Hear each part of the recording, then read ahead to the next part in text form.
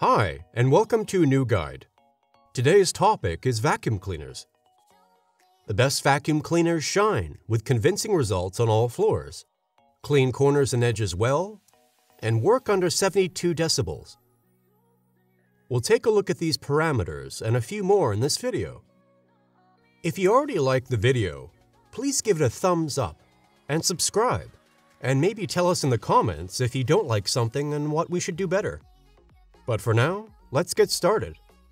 A vacuum cleaner is supposed to do one thing above all remove dirt from floors and transport it to its bag or dust container without exception. Whether this is successful depends in turn on the suction power. The stronger the airflow at the floor nozzle, the better the vacuum cleaner manages even demanding tasks. That is why the most important criterion when evaluating vacuum cleaners is the suction power.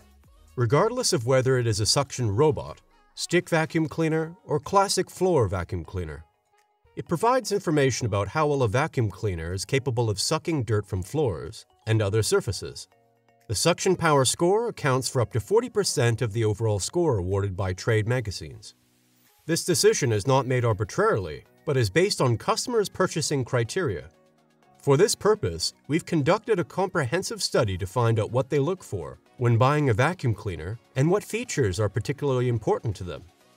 The results were clear our customer survey revealed that around 80% of respondents considered suction power to be particularly important. These ratings show that suction power can vary greatly depending on the type of floor and suction area. Among the vacuums, for example, there are some that specialize with hard floors, but they hardly pull out any dirt from carpet. Typical problem cases can be identified, such as vacuuming on high pile carpet, removing pet hair from upholstery, or vacuuming along room walls, for which buyers are specifically looking for solutions. It is interesting to note that the importance of suction power in the three different disciplines hard floors and parquet, carpet and hair, and corners and edges was rated about the same by our study participants. Performance The best vacuum cleaners fall well below 28 kilowatt hours per year. The aspects of power consumption and energy management are important for evaluating the performance criterion. Depending on the operating mode, via battery or mains plug, different values are relevant. For mains-powered vacuum cleaners, we use the recorded wattage as well as the annual consumption for the evaluation. Here, we rely on the manufacturer's specifications and the energy efficiency class indicated on the EU label. The calculation that high wattage equals high suction power no longer works for recent vacuum cleaners. Modern devices with a nominal input of 600 to 750 watts, as far as suction power is concerned, are in no way inferior to older models with well over 1000 watts. The difference is made by modern motors and sophisticated airflow, which convert the absorbed energy highly effectively and efficiently the annual power consumption is correspondingly low, with less than 28 kilowatt hours per year. Mains vacuum cleaners receive good to very good marks from us. For cordless vacuum cleaners, which include vacuum robots and most upright vacuum cleaners, we have to use other values to make a statement about performance. We decided on battery runtime and battery charging time based on consumer surveys.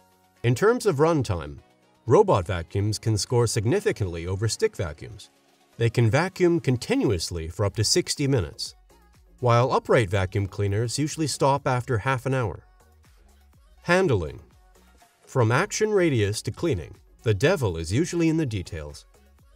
After suction power, handling is our second most important evaluation criterion for vacuum cleaners and accounts for 30% of the overall rating. The ease of use, the cleaning process, and the noise level are taken into account. In terms of ease of use, we evaluate everything that causes frustration or joy during everyday vacuuming. A whole range of factors play a role here. Suction hose. It should be sufficiently long, elastic, and connected to the vacuum cleaner body via a swivel joint. Thus, it allows you a high degree of freedom of movement and flexibility. Maneuverability. Thanks to 360 degree rollers and flexible swivel and tilt joints on the floor nozzle, a vacuum cleaner glides smoothly over any floor and can be maneuvered effortlessly around every piece of furniture and every corner of the room. As far as possible, it should follow all the movements of its user without fail, without tipping or even falling over. Operating range. For mains-powered vacuum cleaners, the length of the power cord determines how far you can vacuum with it without having to change the socket. For cordless vacuums, it's the battery life. Carrying comfort. Some users want to use their vacuum cleaner to vacuum not just one floor, but several floors as well as stairs. Whether a vacuum cleaner is comfortable to carry depends on its weight, on one hand, and its size and carrying handle on the other. The more compact and lighter the device is, the better it can be transported over several floors. Emptying and cleaning is an evaluation aspect that is especially important with bagless units. Your dust container should be able to be removed and emptied via a simple click system. Meanwhile, contact with dust and dirt should be kept to a minimum, the volume of the dust container provides information about how often the emptying procedure has to be carried out. For the evaluation of the noise level, we use the decibel value specified by the manufacturer for all device types. They receive good to very good marks from us if the noise level is less than 72 decibels. In addition to the cold numbers, we also consider the subjective impressions of the buyers. After all, no matter how quiet a vacuum cleaner is, if the type of noise is annoying, it gets point deductions in this criterion. The equipment. The range of nozzles used in the vacuum cleaner is important. The type and design of the nozzle used determine how well the suction power is implemented on the floor and dirt is actually directed into the bag or container. To be prepared for as many applications as possible, good vacuum cleaners come with several nozzles. A combination nozzle is almost obligatory. Example, a floor nozzle that can be adjusted to carpet or smooth floors via a toggle switch.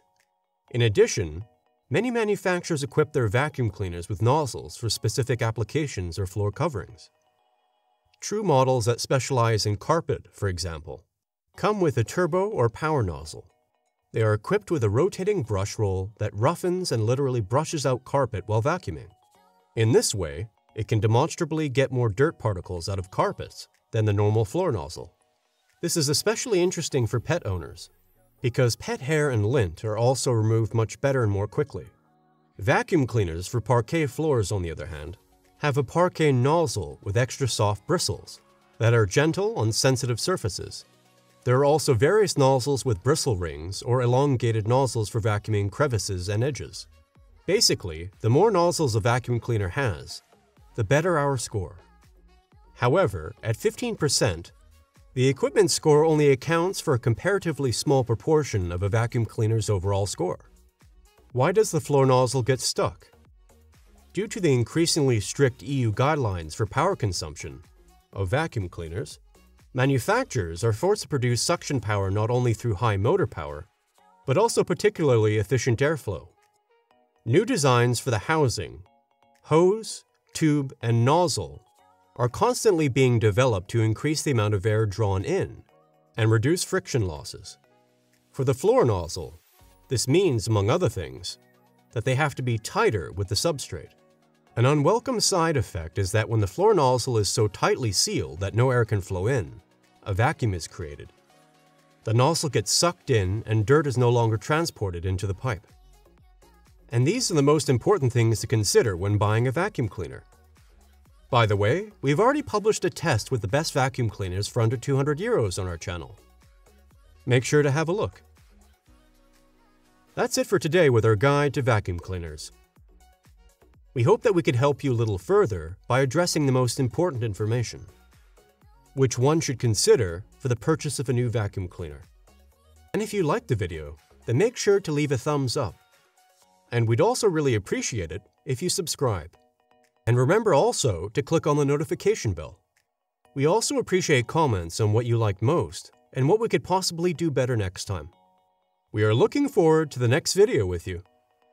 Goodbye and see you soon.